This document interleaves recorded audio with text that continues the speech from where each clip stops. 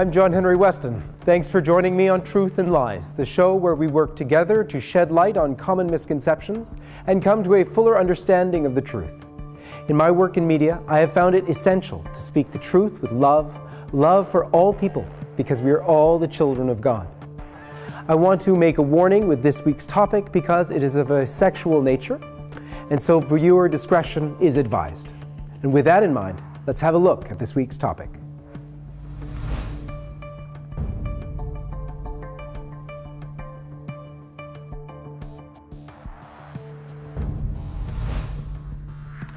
Is masturbation good for you? I know you've probably heard that before, but do you agree? Do you disagree? Is that your opinion or the opinion of someone you know? Perhaps you've not had a chance to think about this issue very much. Well, today is our chance to think about it, to learn about it, and to talk about it. Within this topic area, there are many lies that have seeped into our culture. Here are a few of them which we're going to address on this program.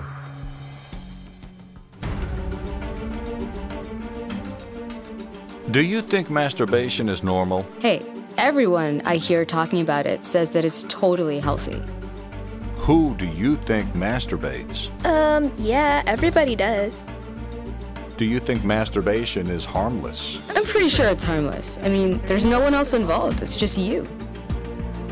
What do you think is the benefit of masturbation? I think it can help stop people from acting out dangerous fantasies by giving them a release. Do you think masturbating is a good thing? I read somewhere that masturbation is like prescribed to help patients in mental hospitals. Can't be that bad.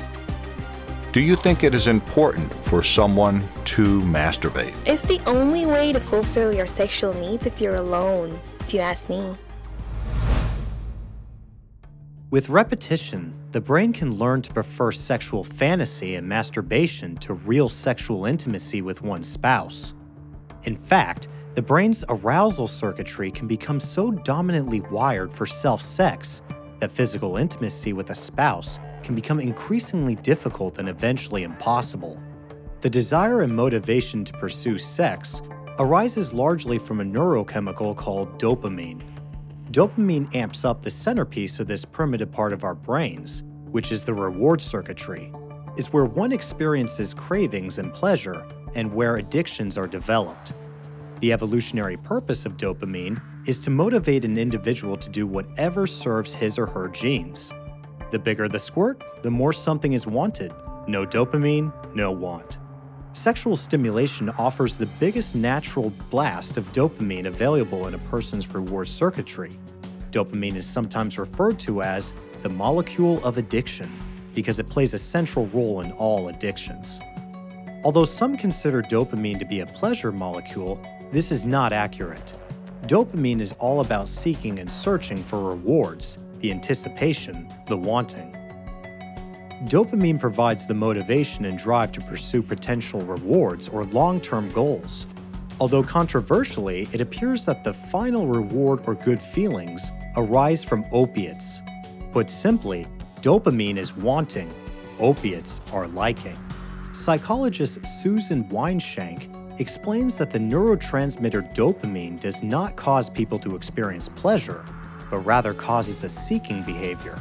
It is the opiate system that causes one to feel pleasure, yet the dopamine system is stronger than the opiate system, individuals seeking more than they are satisfied. Dopamine surges from novelty, a new car, a just released movie, the largest gadget. Dopamine levels rise exponentially. As with everything new, the thrill fades away as dopamine plummets. In one Australian study, researchers showed the same erotic film to test subjects.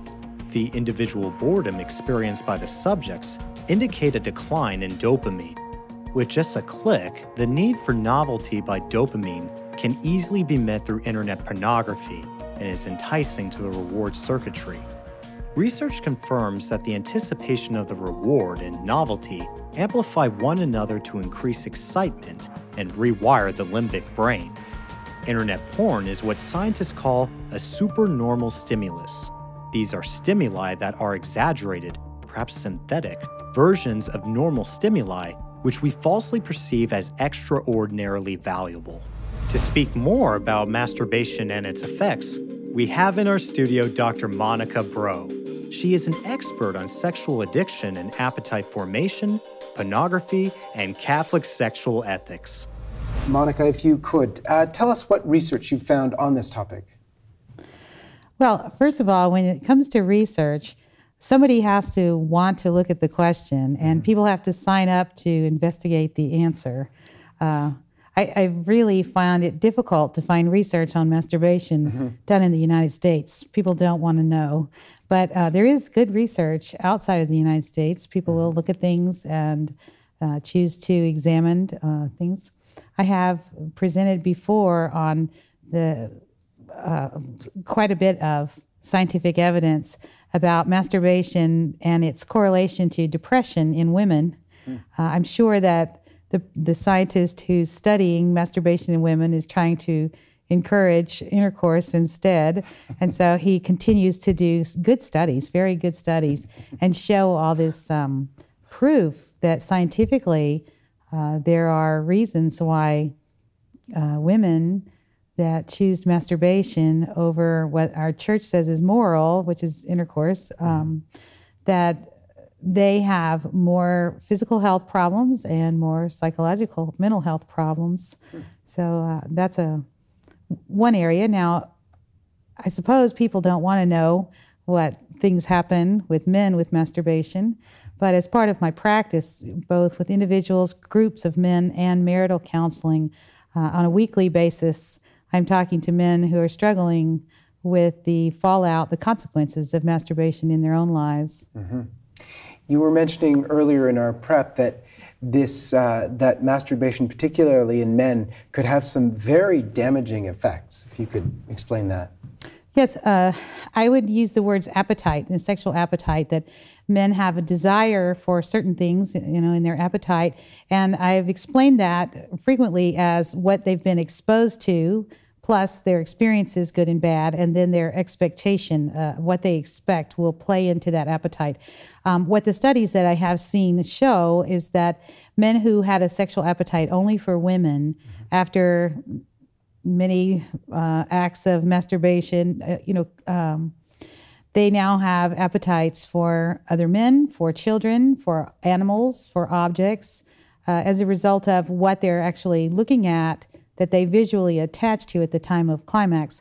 We have evidence of this classical conditioning in men since the 1960s when they first showed that men could learn to have an erection to a drawing of a cowboy boot, even a slide a picture of a penny jar uh, after enough con- conditioning, where men are looking at a particular image, whether a penny jar or a drawing of a boot, at the time of climax, then they will develop a sexual response and actually uh, respond physically to these non sexual stimuli. Mm-hmm. And that evidence of classical conditioning is at the root of how we treat sexual dysfunction in men, recognizing that they can learn and unlearn mm. um, sexual desires and behaviors and appetites. Very wow. strong.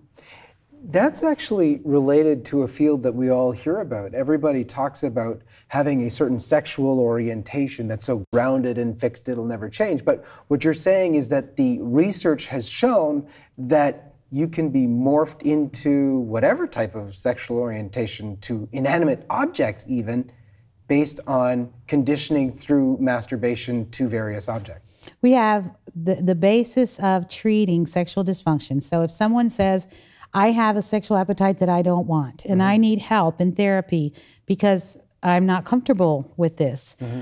The, the basis of the behavioral modification techniques we use is the assumption that this was learned and can be unlearned. Oh. Classical and operant conditioning are what are used in the techniques.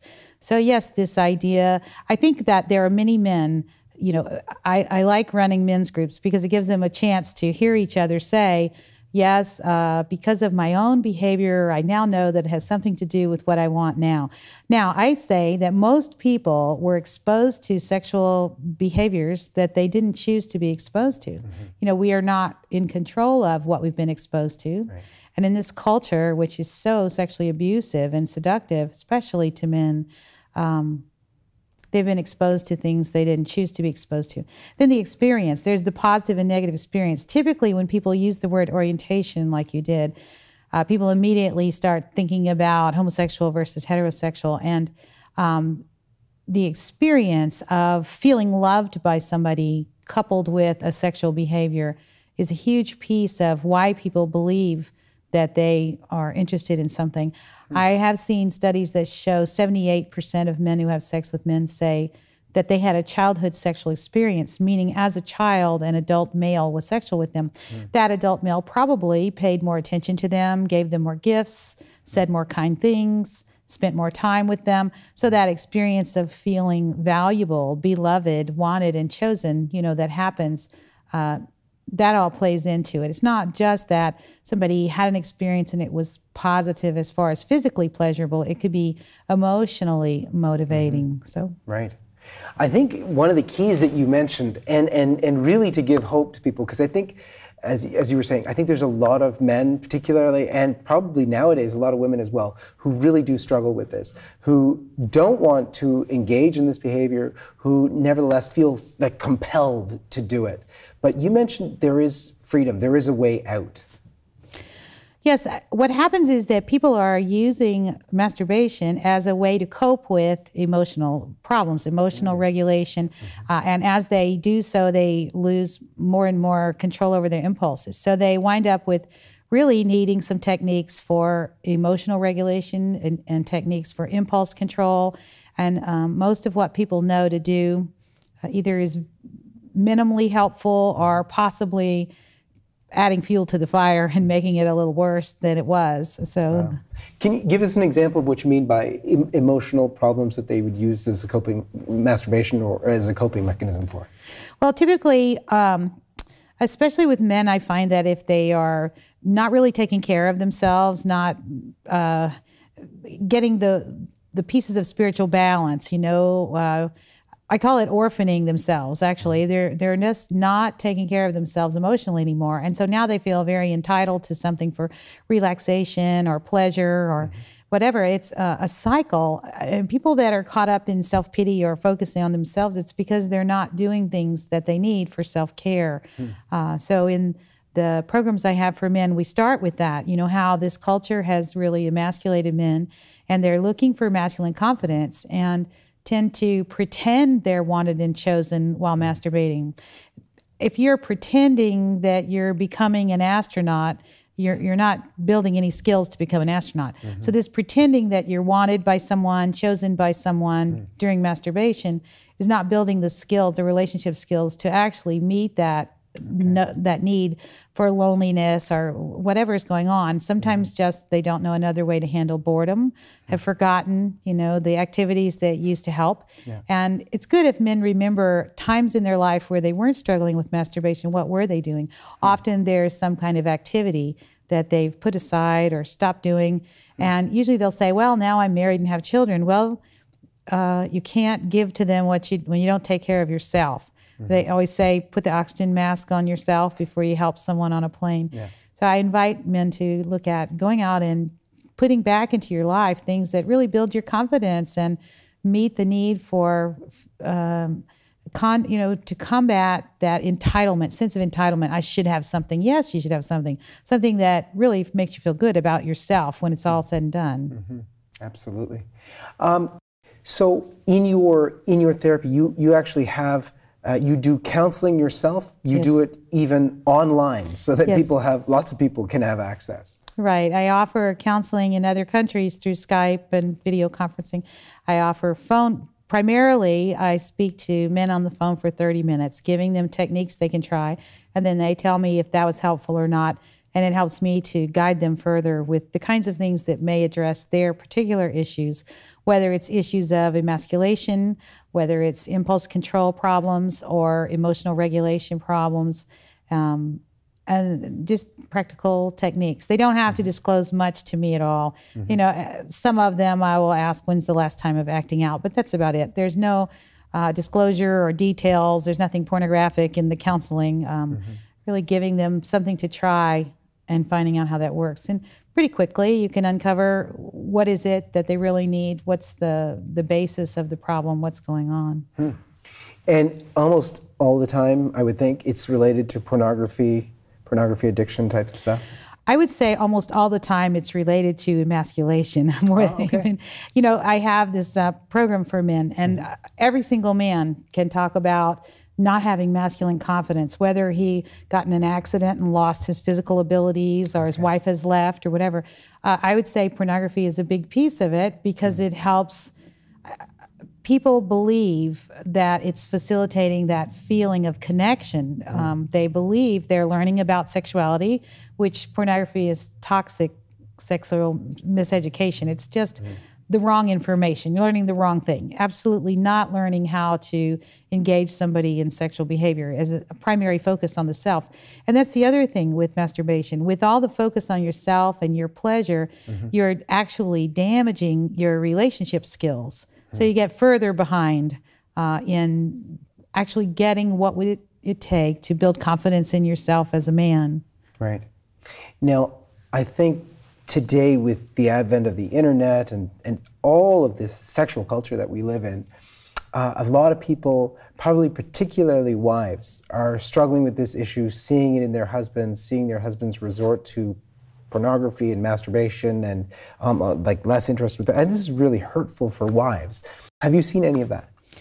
Yes, uh, the the women um, make the wrong sense out of it and give the wrong advice because uh, men and women are so different, uh, so completely different in their sexual arousal patterns and their understanding of of uh, what's going on. So women interpret it the only way they do know how to interpret it, um, which is the way they experience sexual arousal, and they will actually encourage some very damaging practices mm. um, in the men, uh, give advice that's that's difficult for them. Or uh, the biggest problem is that I, if, if I could teach people one thing, and I try to teach the priest and the men in my groups, is uh, don't share intimate details about your sexual behavior with your wife because she will never stop interpreting it as whether you love her or not. Hmm. Women completely get caught up in what we call co sexual addiction, which is a belief that sex is the most beautiful expression of love.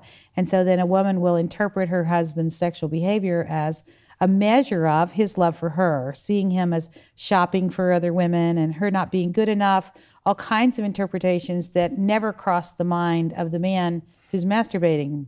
He, he's not thinking about this being about not loving her or hmm. thinking of someone else. Um, typically, he's dealing with erectile dysfunction and some loss of confidence in himself about what's the matter with me. Um, men typically don't know that anything that causes anxiety in them increases their sexual arousal. And so, disturbed by that, they continue to research, which of course complicates the problem. Mm-hmm. Uh, and uh, operating on what they know to be true and trying to incorporate what a woman's telling them is true without looking at how different uh, that is. I typically start every talk, even a small talk, showing a picture of the male brain and the female brain when hungry and how different it is. Hmm. We have no idea what it feels like to be the opposite sex and be hungry. And we certainly don't understand sexual arousal from personal experience in the opposite sex because it's a different side of the elephant. Wow.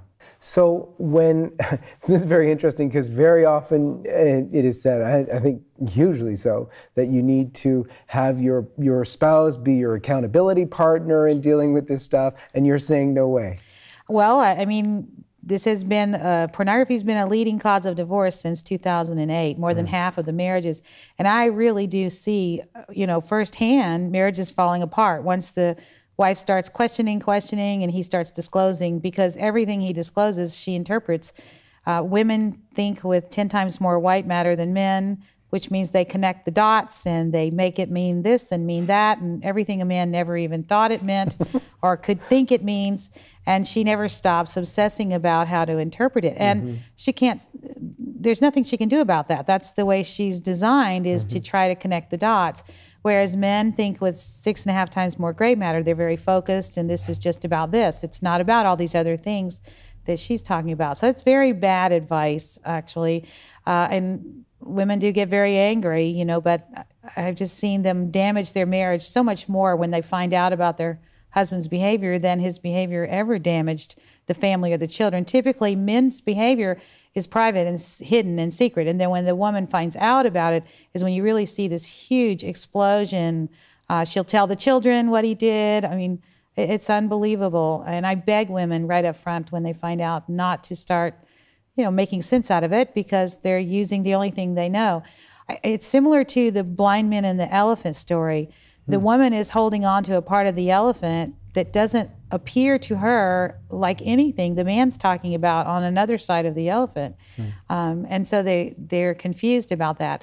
That's why it's good to show the differences, the brain differences, that sexual arousal in women occurs in the frontal lobes where we have our emotions and our planning, and for men in the visual center in the back of the brain. So whenever a woman says, when a man's looking at something and she says, What are you thinking? What are you planning? It's because she can't look without thinking and planning. She can't look without feeling and mm-hmm. emotions.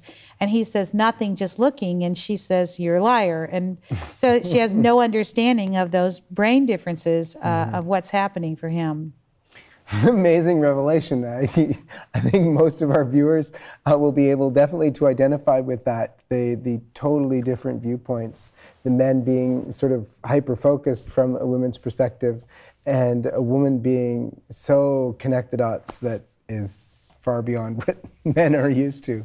Right. And then he um, just thinks that those dots she connected are true, and he tries to make sense out of what she just told him the story's all about and then he tells her a little more because she pressures and pressures and she connects the dots further. And I, I, it just is a mess. It's a big mm-hmm. mess. Men need to be turning to other men to make sense out of it and learning some things that are very helpful to know mm-hmm. about how did you get this appetite? What happened? What did masturbation do for you? Mm. And how can you stop it? You know, identifying really what it's about and how can you deal with it um, in a way that's conquering the problem. Uh, masturbation is an impotent conquest. You know, men have a natural drive to conquer something. Mm-hmm. And when it's all said and done, and they pretended to conquer something, eh, when it's all said and done, they know mm-hmm. that they didn't conquer anything, and their confidence goes down even further, less and less of a, a feeling of good feeling about themselves as men. I think this culture was so oppressive to women, and then we started fighting that so much that now it is an extremely emasculating culture. I have some black and white movies from the recent past where the men were always violent and drinking and smoking, but you know there was an image of masculinity. If you think about your fathers and your grandfathers, they basically had a job and provided money. They weren't in any way expected to change a diaper, help with housework. It was really easy for them to have confidence in themselves as a man. The men today, there is no model. There's nothing. I mean, I'm grateful that Pope John Paul wrote about the dignity of women, but nobody wrote about the dignity of men. Mm-hmm. So there's no model of what is it to to be a good man, what do you have to do? Mm-hmm. So you're pretty much stuck with whatever your wife says. and then the list never stops because she's frustrated that it's not working. You're frustrated that it's not working. Mm-hmm. Um, and we don't have uh, some kind of a, what is it, what does it take to be a good man? Mm-hmm. Uh, and the men's groups are out there, they're trying, you know, they're meeting. Uh, many of the men I counsel say they're band-aids. They're not addressing, you know, what what men are needing because they don't know what mm-hmm. it is mm-hmm. they need. And uh, I, you know, I hope that very soon there can be more opportunity to sit together with other men and talk about some ways to to change this, mm-hmm. some ways to distract themselves from the things that have taken over control that they're enslaved by. Mm-hmm. Uh, and distraction is a pretty easy technique, and uh, when men tell each other how they distract themselves and how they start reacting differently. Mm-hmm. Um, I have a little saying in my group strengthen your heart to suffer, to act, and to be silent. And I think most of the men like to talk about when they were silent instead of saying anything in the middle of something and how much better it turned out. Mm-hmm. And I say, well, think of good St. Joseph, you know, there's not a word he spoke. And uh, he had a rough job, huh? What in in in your practice, what you've seen, what has helped some of these men? What are some of the techniques that they use for distraction? What are the what is a vision of a good man? A, a, a positive vision of a good man? Well, I think first of all, men have to look at what were some things that they did in the past that helped them feel good about themselves. And that's different for each man. And try to put those things back in. Or maybe I have one guy in the group that's a grandfather. He said he always mo- wanted to ride a motor, motorcycle. And he finally went out and bought one. It's just like never doing what you wanted to do or what you used to do, leaving it behind.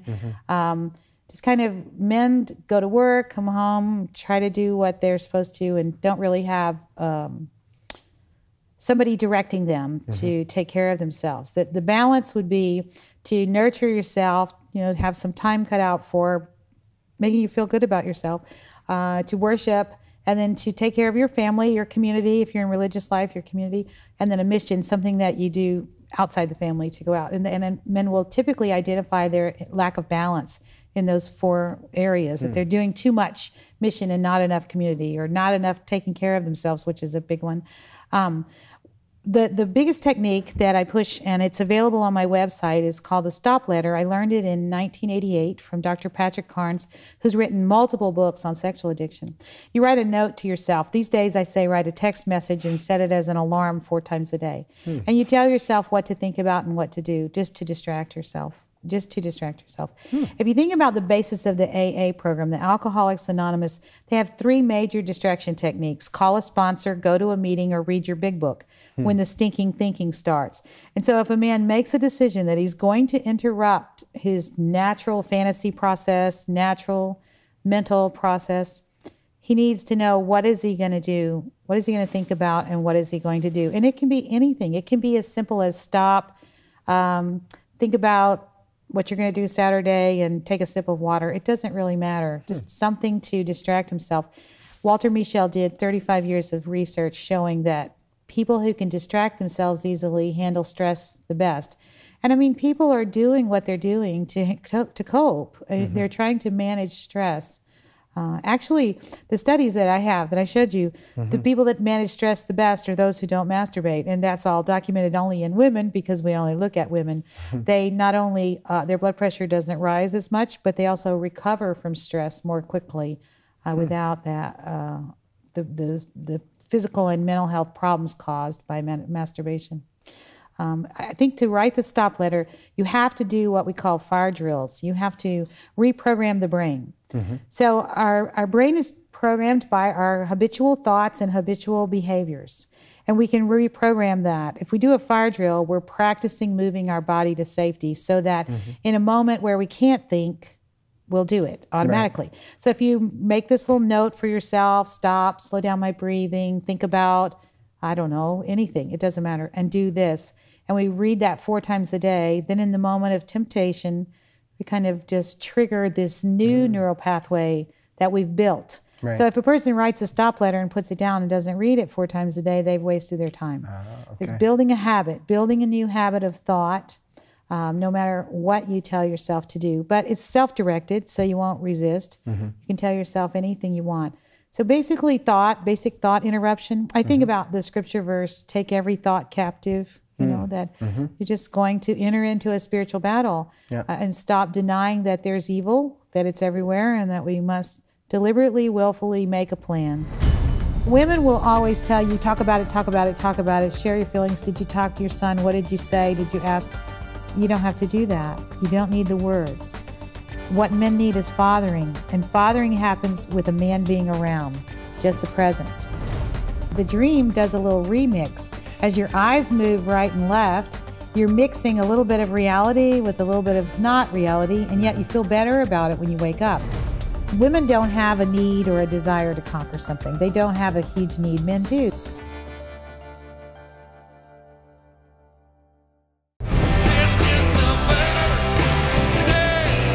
Jesus is God.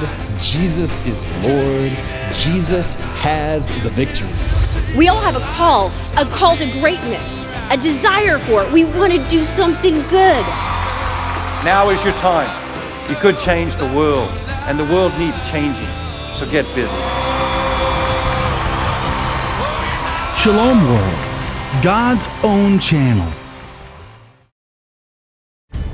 People are using masturbation as a way to cope with emotional problems, emotional regulation. Don't share intimate details about your sexual behavior with your wife because she will never stop interpreting it as whether you love her or not. Most people were exposed to sexual behaviors that they didn't choose to be exposed to.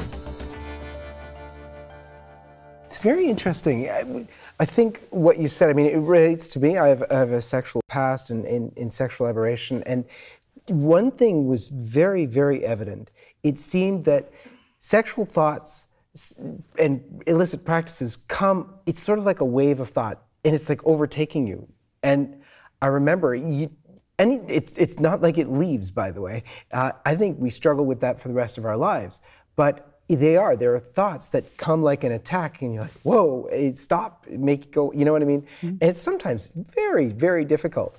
I remember uh, when I, I have a past in psychology as well, and I was in class once and we were learning about aberrant thoughts in a totally different context but you know with obsessive compulsives these thoughts come in and they like attack and they're there and they continue and you can't get rid of it so one of the techniques we learned in school was this uh, mantra you, you say something over and over, short phrase usually, over and over and over and over and over again, so that it takes over your thought. And they also said, in addition to saying something, add in a visual. And so in class, the example was pink spotted elephant, pink spotted elephant, pink spotted elephant, and visualize it. So you'd have that uh, mantra be able to take over your thought. And so I went home and I was telling my dad, oh, this is really great. We have this technique to overcome compulsive thoughts and uh, it really works really well. Watch this. And he said, whoa, whoa, whoa.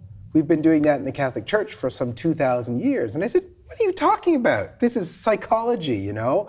And he said, Yeah, well, mantras are short prayers. He was German, so they were Stoßgebete, and in English we call them aspirations.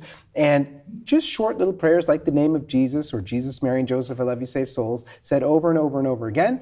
And visualization, yep, the crucifix or Our Lady or whatever, to give yourself these, this ability to regulate your thoughts to take them over. So I was thinking, oh man, but anyway, so you were saying about this.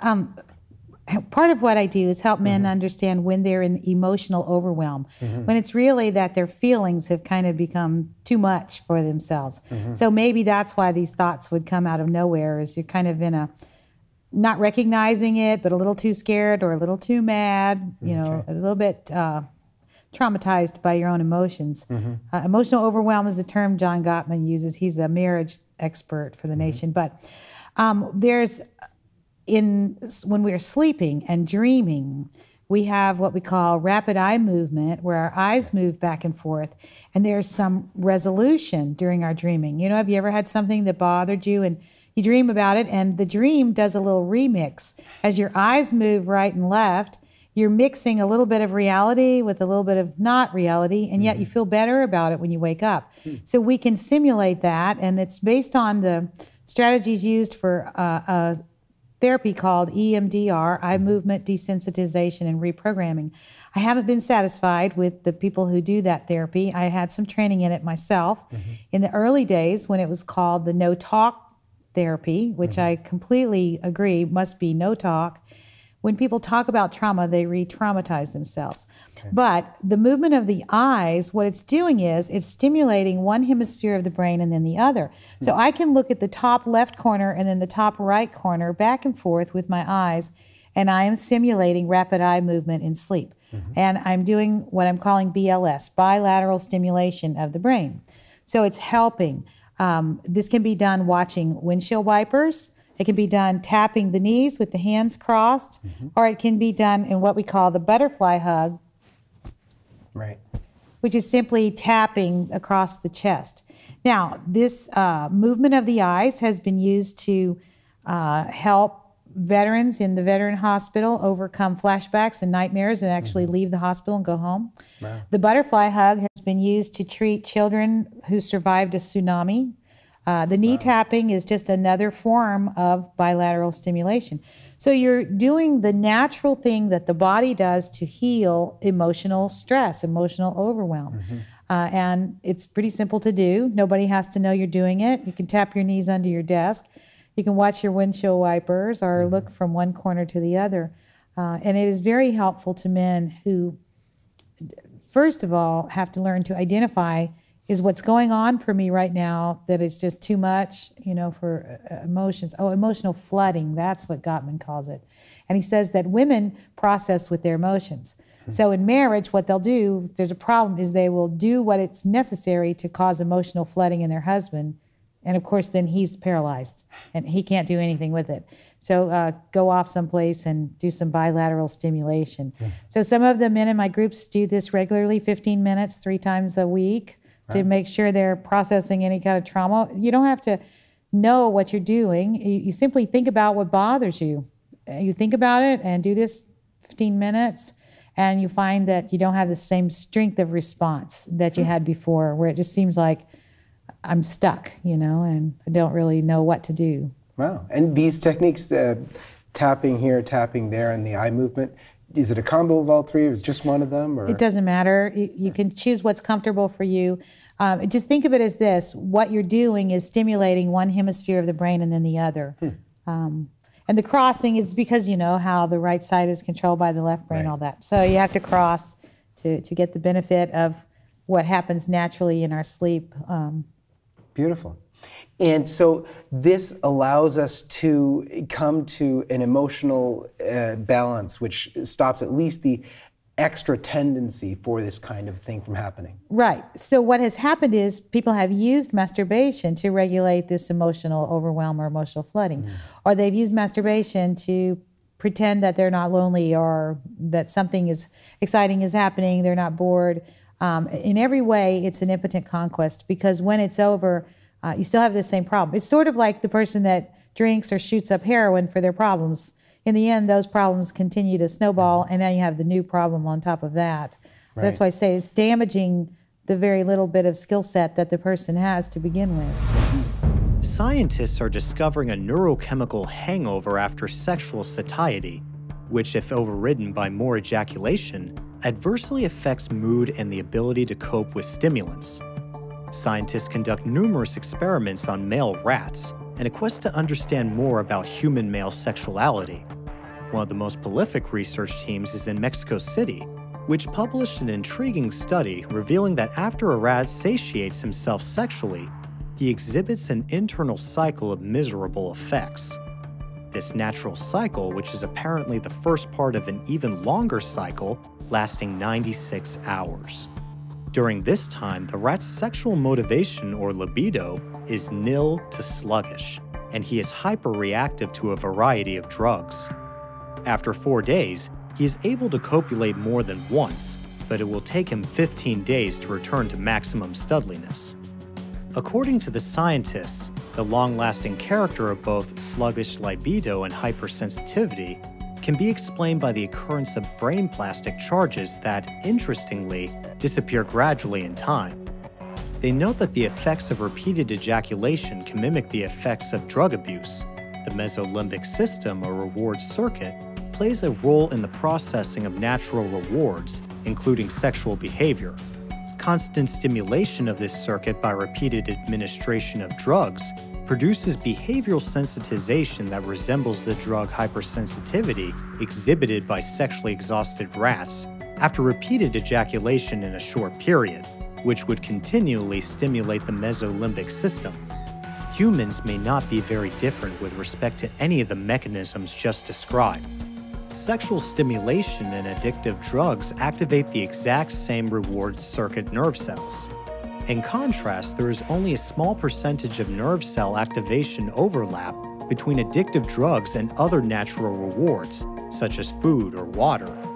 Turning on the same nerve cell that makes sexual stimulation so compelling helps to explain why illegal substances such as methamphetamine, cocaine, and heroin can be so addictive. Interestingly, heroin addicts often claim that injecting the drugs feels like an orgasm. Supporting their experience, ejaculation mimics the effects of heroin addiction on the same reward circuit nerve cells. Specifically, ejaculation shrinks the same dopamine producing nerve cells that shrink with chronic heroin use. One of the other debilitating effects of masturbation is intimacy impotence, the increasing inability of a man or woman to connect, bond, and truly be one with his or her partner. To enjoy full intimacy, which is physical, emotional, and spiritual. Instead, he or she might opt for self sex in the company of cold, imaginary, and fantasy images. Now, you say an impotent conquest. What do you mean by that? Well, I think the part about that women don't have a need or a desire to conquer something. They don't have a huge need. Men do. They really feel like men whenever they've conquered something. And pornography plays on that. Uh, even the video games really do play on that mm-hmm. sense of now you've conquered something, you sure. know, now you have something you've conquered. So an impotent conquest would be, what's my word, but uh, you don't feel virile afterwards. You don't feel potent. You just don't uh, wind up with this feeling of masculine confidence when mm-hmm. it's over. It was a deceptive type of conquest right. that leaves you back at square one or further behind. Mm-hmm. So, what would then a, a, real conquest be in the in the context, I guess, where most people are experiencing it? It's it's uh, maybe frustration with a, a, family situation with your wife, perhaps, probably most commonly.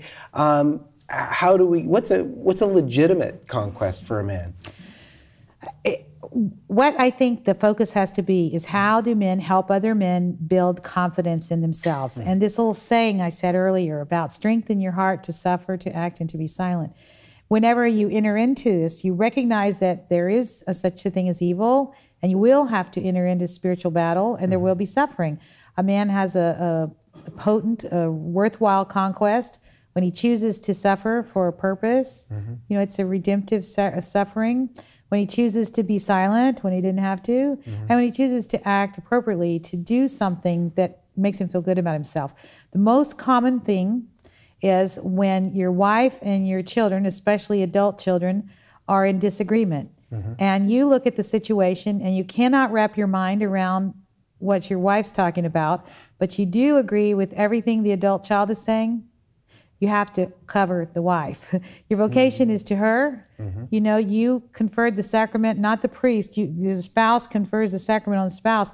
You have to step up to the plate and cover her and have her back and take that moment to protect her and, mm-hmm. and not say, you know, I really understand what you're talking about, adult child. yeah, not the right time. And so that example has helped more men, and they come back to group and talk about how good it felt whenever their wife was actually surprised. And uh, hmm. so the women say the most they don't feel supported by their husbands. Men say they don't feel respected by their wives. Hmm. That word respect is the one I hear all the time. At the moment that the woman feels supported, like you had her back, and it's not really about you making any sense out of what she's saying. That, that is not the game. Mm-hmm. The game is not to figure out what makes sense about what she's saying. It's just to be there, to be the support, and to show that you're the umbrella and then once she feels supported, it's just automatic. She will do things that men say, I feel respected by her.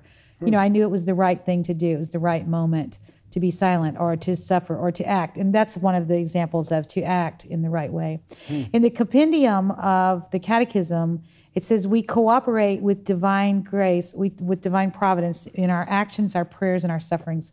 And so I changed the word prayers to silence because Mary was a woman of silence. Joseph was a man of silence.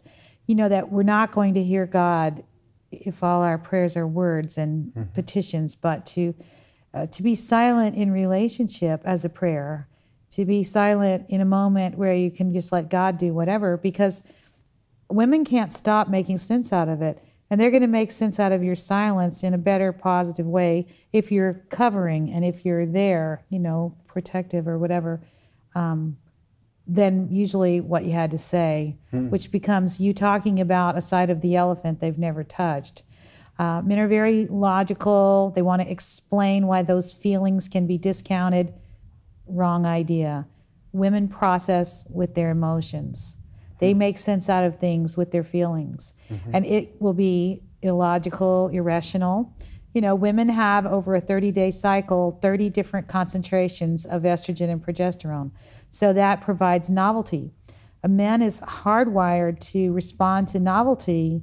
And the problem with pornography is he can be exposed to so much novelty that uh, it's always new, everything's always new. And the subtle newness of the woman he's with every day is obscured, you know, it, it can't compete at all.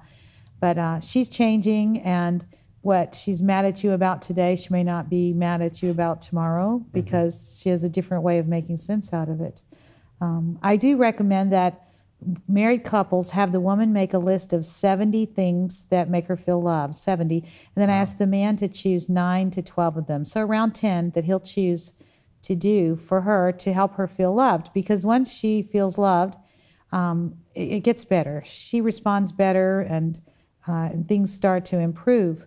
So I, I asked her to make 70 and him to choose 9 to 12 so that number one, she's not telling him what to do. It's more like a playbook. If you became a football coach and I gave you a book with 70 plays and you choose about a dozen. So the man's at the wheel. He can do what he wants, whichever ones. And like I tell him, when you get this list, remember, you're going to take a black mark slot, scratch out up to 61, and never think about them again. And they can do that. They can do that.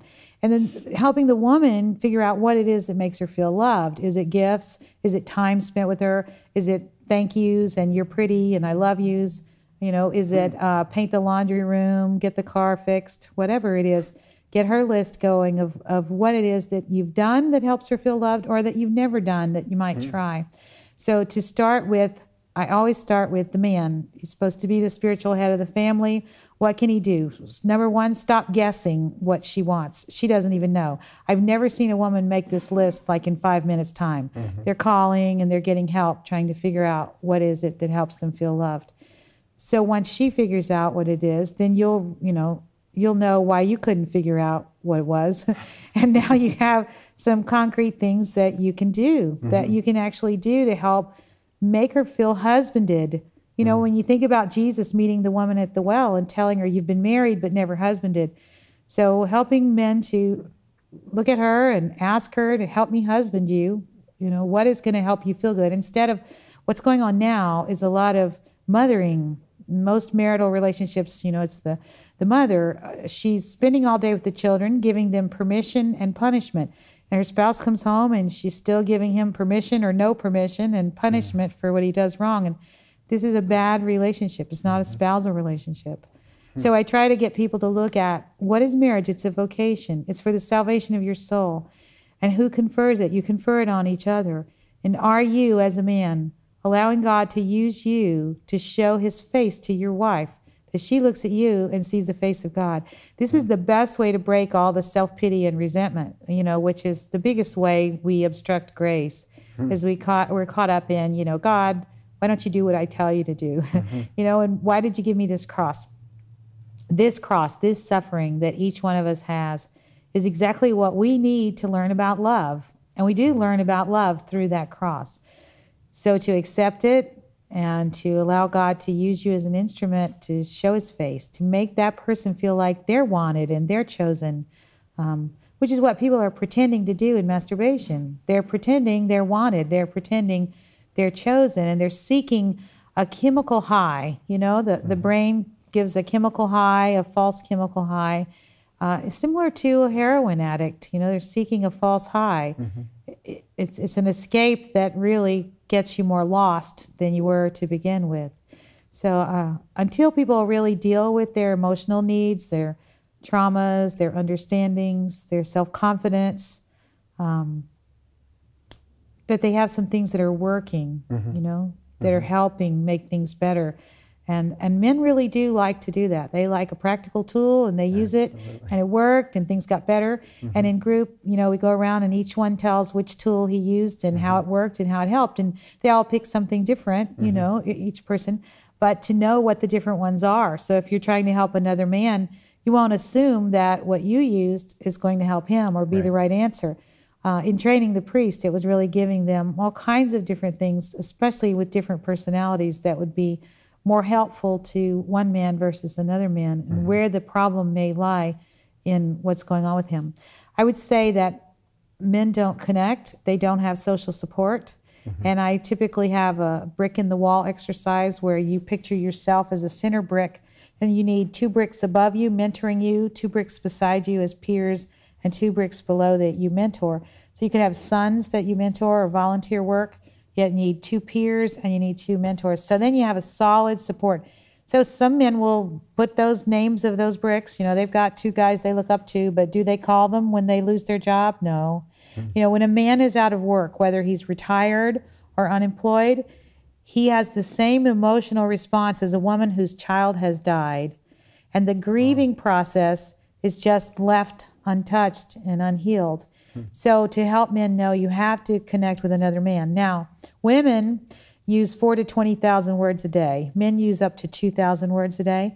So, women will always tell you, talk about it, talk about it, talk about it, share your feelings. Did you talk to your son? What did you say? Did you ask? You don't have to do that. You don't need the words. What men need is fathering, and fathering happens with a man being around, just the presence. So, men that have no friends and they don't know anybody, I tell them, go someplace like go to a gym every Tuesday at four o'clock. Find a guy that's always on a certain machine, get on the machine next to him, and every Tuesday at four o'clock, work out next to that guy. I don't care if you never speak to him or look at him. That's the fathering, the presence of other men. Hmm. The focus is not what you say, what you disclose, and how much you tell. All the women will tell you that because women must process their emotions and hmm. they are dependent on the words. You know, you, you see, there's this Yeah. big difference of how their advice isn't, you know, so big deal if you never talk, right? Yeah. Lots of men had a good dad who never said a word to them. Saint Joseph, he is very silent. But to be in the presence of men, to make mm-hmm. time for it and to be there with them and to begin to feel like a good man. Wow. So when a man looks at another man and gives him the you're man enough, it's it's building up the culture. It's really building up the culture. Because men that are pretending and looking at pornography, they really are left with you're never man enough. Uh, their their focus becomes the advertisements for Viagra, et cetera, uh, how big I am, how long I last. I mean, that's not the focus of life. It's really about how confident I am as a man to handle what I need to make sure I'm getting it and so that I can feel good about what I'm conquering in myself and what I'm doing for my family. Absolutely beautiful. Whoa, an amazing amount of information. I want to thank you very much, Dr. Breaux, for joining us here on Truth and Lies. I think you have really, really helped uh, us come to a fuller understanding of truth. I want to uh, give people some resources. Where can they go, first of all, to find more information, to find you online, to get some counseling perhaps? Where can they go? Well, I have a website. It's drmonicabreaux.com, but not everybody knows how to spell my name. It's easier to find me on catholictherapist.com. Okay. And um, people frequently say I'm the only one in Arizona. On Catholic Therapist, you can search by my first name, Monica, or I- I'm in Phoenix. Uh, and uh, there are links to my website there and how to get in contact with me. Uh, and I'm really interested in promoting the Wholly Men program. It's W H O L L Y. Let me Holy just show Men. this little slide of that so hopefully they can see it. That's the program there, Wholly Men program. Yeah, it's um, to build leaders in the fight against the pornography plague. The men who attend, it's not an admission of a pornography problem. I mean, people are never dis- required to disclose anything about themselves. It's really uh, focused on the things I talked about the emasculation in the culture, the need for impulse control, for emotional regulation, especially uh, helping with marital issues and building up your marriage to be what you, what you would like for it to be.